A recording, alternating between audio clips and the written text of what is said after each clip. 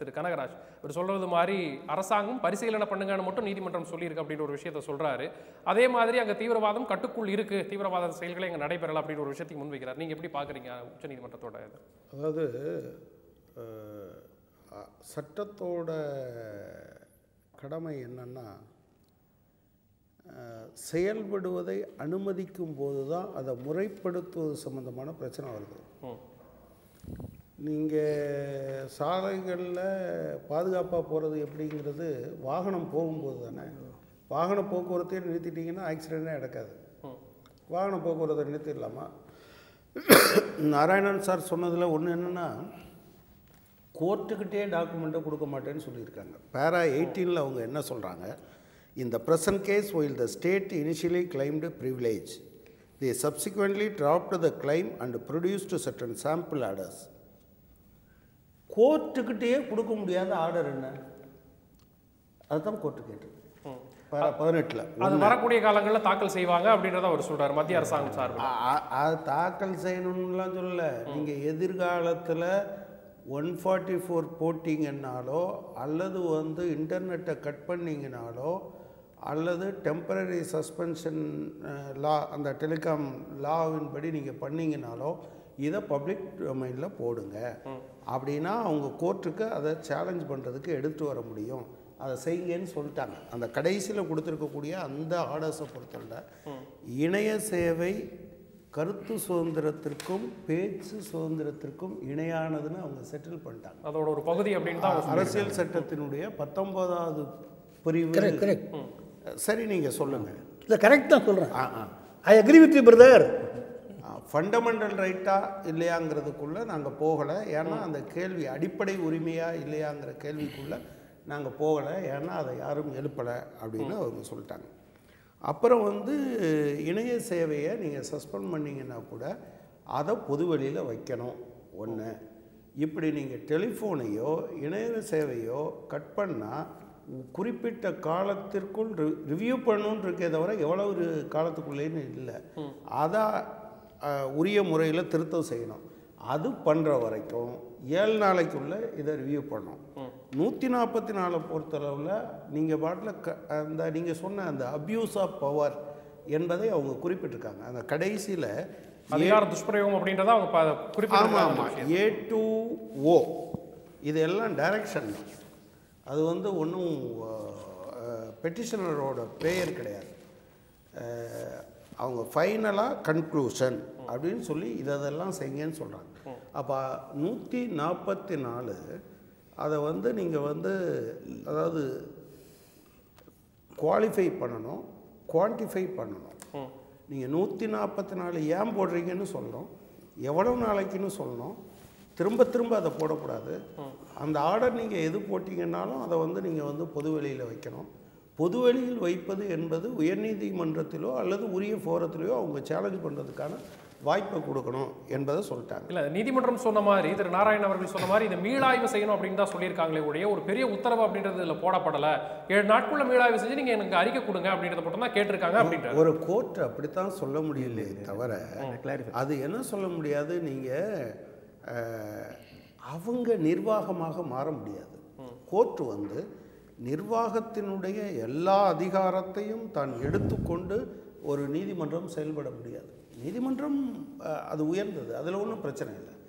ஆனால் ஒரு நிர்வாக அமைப்பை நீங்கள் ரிவ்யூ பண்ணுங்கன்னு சொல்கிறது என்ன அர்த்தம்னா ஆனால் முன்னால் சொல்லிட்டாங்க நீ இப்படி பண்ணது தப்பு.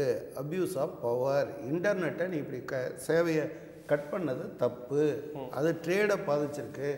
ஈவன் அவங்க என்ன சொல்லியிருக்காங்க? எங்கேயாவது உன்னைனால் ரெஸ்டோர் பண்ண முடியலைன்னா நீ ஒ- ஒரு ஒரு குறிப்பிட்ட ஏரியாவுக்காவது வங்கி சேவை அல்லது வந்து சுகாதார சேவை மருத்துவ சேவை இதையெல்லாம் நீங்கள் ரெஸ்டோர் பண்ணுங்க என்று கிளியர் கட் டைரக்ஷனோடு கொடுத்துருக்காங்க. என்னையை பொறுத்தளவில் இந்த ஆர்டர் என்பது மத்திய அரசாங்கம் இதுகாரும் காஷ்மீரில் எடுத்திருக்கிற அடக்குமுறைகளை அது ஒரு நீதிமன்றம் என்ன வார்த்தையில் சொல்லுமோ அந்த வார்த்தையில். இது அடக்குமுறை தான் இது சட்டவிரோதம் தான் இதை செஞ்சிருக்க கூடாது என்று கேட்டகரிக்கல சரி. இதை பண்ணதுனால தான் தீவிரவாதம் கடந்த ஐந்து மாதங்களாக கட்டுக்குள்ள இருக்கு எந்த சம்பவங்களும் நடைபெறல அப்படின்றத அவங்க சொல்றாங்க. இப்போ நீதிமன்றம் வந்து சொல்லியிருக்கிறாங்க இதெல்லாம் நீங்க செஞ்சது ஏன் இப்படி செய்றீங்க அப்படின்னு கேள்வி மட்டும் தான் எழுப்பியிருக்காங்களே ஒழிய இது இன்னும் தொடரக்கூடிய ஒரு சூழ்நிலை தான் அதை பத்தி அறிக்கை மட்டும் தான் மத்திய அரசு கொடுக்க போறாங்க. இதனால தீவிரவாதம் இதுவரைக்கும் கட்டுக்குள்ள இருக்கு அப்படின்றத சொல்றாரு. இல்லை அதான் தீவிரவாதம் கட்டுக்குள் இருக்கா இல்லையான்னு கூட நீங்கள் கண்டுபிடிக்க முடியாத அளவுக்கு. நீங்கள் ப்ரெஸ் இருந்தால் தானே ஏதாவது தெரியும். தீவிரவாதம் இருக்கா இல்லை அரசு அடக்குமுறை இருக்கா இதெல்லாம் நடந்திருக்கா நடக்கலையான்னு உங்களுக்கு எப்படி தெரியும்? நீங்கள் எப்படி சோசியம் பார்ப்பீங்களா நீங்கள் அந்த ஊரில் இது நடந்திருக்கான்னு. ப்ரெஸ் இருந்தால் தெரிஞ்சிருக்கும். எதுவுமே தெரியாத போது அது வருகிற போது தான் உங்களுக்கு தெரியும். இன்றைக்கி தானே கோர்ட்டு சொல்லுது. நீ இந்த இதெல்லாம் பண்ணியிருக்கீங்க. கோர்ட்டுக்கிட்டேயே டாக்குமெண்ட்டை கொடுக்க மாட்டோன்னு சொல்கிறாங்க அப்படிங்கிறது இருக்குல்ல. கோர்ட் என்ன? தீவிரவாத அமைப்பா? நான் எதுக்காக ஆர்டர் போட்டிருக்கேன்னு இப்போ கோர்ட்டே கூட சில சமயங்களில் என்ன பண்ணுதுன்னா அது என்ன சட்டம்னு தெரில சீல்டுக்கு மூடி முத்திரையிடப்பட்ட இதில் எனக்கு கொடுங்கன்னு கேட்குது அது என்ன நில தன்னிடம் கொடுப்பதை வெளியிடக்கூடாது என்று கோர்ட்டு சொல்லுச்சுன்னா வெளியிட முடியாது. வெளியிட யாரும் கூடாது. வெளியிட மாட்டாங்க. இன்ஸ்பைட் ஆஃப் தட் சொல்கிறாங்க ஆனால் அந்த கோர்ட்டுக்கிட்டேயே கூட இந்தியாவினுடைய உச்சநீதிமன்றத்திலேயே கூட ஆர்டரில் ஒரு பகுதியை நான் தரமாட்டேன்னு ஆரம்பத்தில் சொன்னாங்க. அடுத்து சாம்பிள் ஆர்டர்ஸ் மட்டும் கொடுத்தாங்க. அதெல்லாம் பொது வெளியில் சரி திரு கனகராஜ் இவர் சொல்ற மாதிரி நீதிமன்றம் ரொம்ப ஸ்ட்ரிக்டா இதை செய்யுங்க அப்படின்னு உத்தரவு போட முடியல. இல்லை உத்தரவு போடக்கூடிய இடத்துலையும் நீதிமன்றம் இல்லை அதை போட முடியாது. நிர்வாகம் முடிவு செய்யணும் அப்படின்னு ஒரு விஷயத்தை வைக்கிறாரு. இங்க தீவிரவாதம் நடைபெறுகிறது. அதை தடுப்பதற்கு அது ஒரு டூலாவும் இணையதளம் யூஸ் பண்ணிட்டு இருக்காங்க. அது கொஞ்ச நாள் தள்ளி தான் அப்படி செய்ய முடியும் அப்படின்னு ஒரு விஷயத்தையும் அவர் வைக்கிறார் அரசு தரப்புல. ரொம்ப நாளாக கருப்பு பணம் இருந்தது. அப்புறம் டிமானிட்டைசேஷன் வந்தோடனே கிட்டத்தட்ட தீவிரவாதம் இந்திய மண்ணிலிருந்து துடை தெரியப்பட்டாச்சு.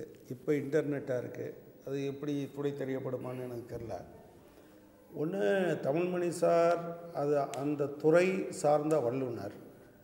ஆனால் அவர் சொன்ன எல்லாத்தையும் என்னை நான் நான் படித்த வரையிலும் என்னைனால ஏற்றுக்க முடியலை.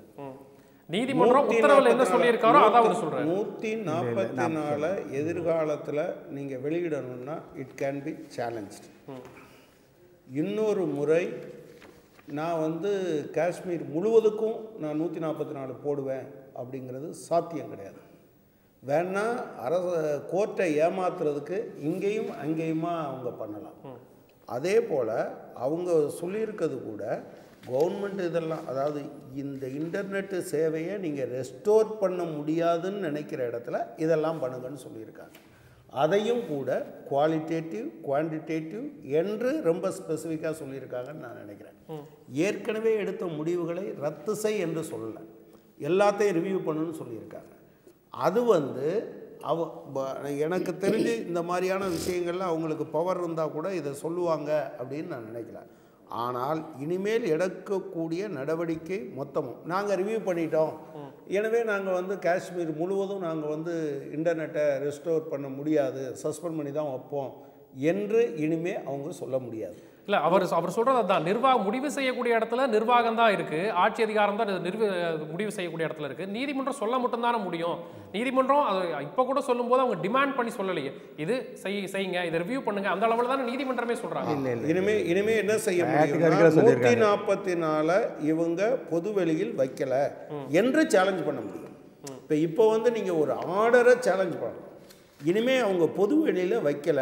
எனவே அந்த ஆர்டரை சேலஞ்ச் பண்ணுறது எனக்கு சாத்தியம் இல்லை. இங்கே கொண்டு வர சொல்லுங்கன்னு கேட்கலாம்.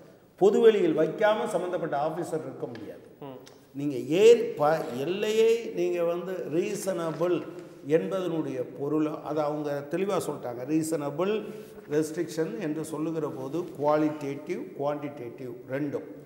ஒன்று இந்த காரணத்தினால் இந்த இடத்தில் நூற்றி நாற்பத்தி நாலை நாங்கள் அமல்படுத்துகிறோம். இந்த காரணத்தினால் நாங்கள் இணைய சேவையை முடக்குகிறோம். இவ்வளவு நாளைக்கு பின்னாலையும் முடக்க வேண்டியது இருக்குது என்கிற காரணத்தினால் நாங்கள் இதை செய்கிறோம் என்று தான் சொல்ல முடியுமே தவிர அதில் வேணா பரப்பளவுங்கிறத நீங்கள் இப்போ சொல்கிறது மாதிரி பிளாங்கெட்டாக பண்ண முடியாது. இல்லை இப்போ அப்படித்தான் நான் நினைக்கிறேன். அந்த ஆர்டர் அப்படி தான் இருக்கு. இன்னொன்று நீங்கள் எப்போதுமே சட்டம் வந்து எவால்வ் ஆகிட்டே தான் இருக்கு. அநேகமாக வேறு எதையும் விட நீதிமன்றமே ஒரு காலத்தில் சொன்னதுக்கும் இன்றைக்கும் பெரிய மாற்றங்கள் வந்துக்கிட்டே இருக்கு. நம்ம நாகரிக காலத்துக்கு வந்துட்டோம். ஒரு முப்பது வருஷத்துக்கு முன்னால் இன்டர்நெட்டை பற்றி பேசியிருக்க மாட்டோம். இன்னைக்கு அது இல்லைன்னா நான் அப்ளை பண்ண முடியாது. பல பேர் வந்து அது அதுதானே அதை ஒட்டி தானே இஷ்யூஸ் வருது. எனவே இதெல்லாம் இருக்குது இந்த ஜட்ஜ்மெண்ட்டை பொறுத்தளவில் நான் என்ன நினைக்கிறேன்னா ரொம்ப கேட்டகரிக்கல் டேர்ம்ஸில் இந்த மூணு விஷயத்தை press freedom one forty four உத்தரவு அதே போல் இன்டர்நெட் சேவை முடக்கம். இது மூன்று சம்பந்தமாக ஃபார் ரீச்சிங் ஜட்ஜ்மெண்ட் என்பது என்னோட அதாவது எப்போதுமே இந்த ஃபேசிஸ்ட் டெண்டன்சி என்னென்னா கவர்மெண்ட் மட்டும்தான் முக்கியம். மக்களுக்கு எது சரின்னு கவர்மெண்ட் முடிவெடுக்கும். ஏங்க? ஒரு ஒவ்வொரு உயிரும் முக்கியம். ஆனால் ஒவ்வொரு மனித வாழ்வும் முக்கியம்னு சொல்லும்போது காஷ்மீரில் இருக்கிற மனித வாழ்வுகளை நீங்கள் அப்படியே அந்த அந்த உயிர்களை எல்லாம் புறங்கையால் தள்ளி விட்டுட்டு நீங்கள் வந்து உணர்ச்சி பூர்வமாக பேச முடியாது. நீங்கள் வந்து உங்கள் ஊரில் ஒரு போலீஸ்காரர் ஒரு ஜீப்புக்கு முன்னால் நீ ஏன் வந்து எனக்கு நியாயம் சொல்லலைன்னு ஒருத்தர் கட்டி வச்சு அப்படியே இழுத்துட்டு போகிறத நீங்கள் பார்த்துருக்கீங்களா? அதனுடைய பொருள் என்ன? அந்த தனிநபர் மட்டும் இல்லை. அந்த ஊரில் இருக்க எவனாக இருந்தாலும் சரி நான் துப்பாக்கி வச்சுருக்கேன் நான் போலீஸு நீ சொல்லலைன்னா இந்த ஊர் சட்டம் என்னை கேள்வி கேட்க முடியாது. நடுத்தருவில் கொண்டு போனாங்களே. நீங்கள் இதனுடைய பொருள் என்ன? நீங்கள் வெறுமனே நபர்களை மட்டும் பார்க்காதீங்க. அந்த நபர்களை முன்வைப்பதன் மூலமாக ஒட்டுமொத்த மாநிலத்தையும் பயமுறுத்துவது. மக்களுக்கு மேலாக காவல்துறையை இராணுவத்தை அரசாங்கத்தை நிறுத்துவது. மக்களுக்காக தான் இதெல்லாம். ஆனால் மக்களுக்கு மேலே நிறுத்தி வச்சு உனக்கு எது நல்லதுன்னு நான் பார்ப்பேன்னு சொல்கிறது இதை இதெல்லாம் ஒரு காலத்தில் ராஜாக்கள் சொல்லிட்டு இருந்தாங்க. இப்போ வந்து இராணுவம் சொல்லும் அல்லது போலீஸ் சொல்லும்னு இப்போ புதுசாக வந்திருக்கவங்க சொல்ல ஆரம்பிச்சிருக்காங்க. இது ஜனநாயகத்துக்கு நல்லதில்லை. ப்ராப்ளம் என்னன்னா ஒவ்வொரு உயிரும் பாதுகாக்கப்பட வேண்டும். இப்போ இந்த இந்த பெயில் ப்ராசஸில் ப்ராப்ளம் இருக்குன்னா அதை நீங்கள் ரிவ்யூ பண்ணணும். எவனுக்குமே பெயில் கொடுக்கக்கூடாது அப்படின்னு பேச முடியாது. அதானே இங்கே இருக்கக்கூடியது. இப்போ சார் சொன்னார் அதில் இருக்கும் நீங்கள் எப்படி டி டிடென்ஷனை எப்படி நடத்தணுங்கிறது வேறு. நான் இவர் குற்றவாளி இதில் குற்றவாளின்னு தீர்மானிக்கிறது யார்? நீங்கள் நீங்கள் பிடிச்சி உள்ளே தூக்கி தூக்கி போட்டுக்கிட்டு இருப்பீங்க. அரசு சரி என்று சொல்லிவிட்டால் நீங்கள் இராணுவமோ போலீஸோ அல்லது ஒரு அரசியல்வாதியோ நினச்சி இத்தனை பேரையும் உள்ளே தூக்கி போட்டலாம் அப்படின்னு முடிவுக்கு வந்தீங்கன்னா அது சட்டத்தின் ஆட்சி இல்லை. ஒரு தனியான நீங்கள் வந்து சர்வாதிகார ஆட்சிக்கு பதிலாக நீங்கள் கோர்ட்டும் நம்ம சட்டமன்றமும் பாராளுமன்றமும் வேடிக்கை பார்த்துக்கிட்டு இருக்கோம். இதையெல்லாம் இவங்க பண்ணலாம்னு நினைக்கிறது தான் இப்போ கூட இவருடைய பாருங்க இஸ்லாமிய பயங்கரவாதத்தை கண்டிக்க மாட்டோம். அது கம்யூனிஸ்ட் காங்கிரஸ் திமுக இவங்களுக்கெல்லாம் அது ஒரு இல்ல விஷயம். இல்ல இல்ல, இந்துத்துவா பயங்கரவாதத்தை அது பேசுங்க. இஸ்லாமிய பயங்கரவாதத்தை கண்டிக்காதீங்க. இது. தனிநபர் பயங்கரவாதத்தை செய்யலையே. இதுல நான் க- நீங்க நினைக்கிற போதெல்லாம் உங்களுக்கு விருப்பப்படுற போதெல்லாம் நான் கண்டிக்கணும்னு எப்படி. நினைக்க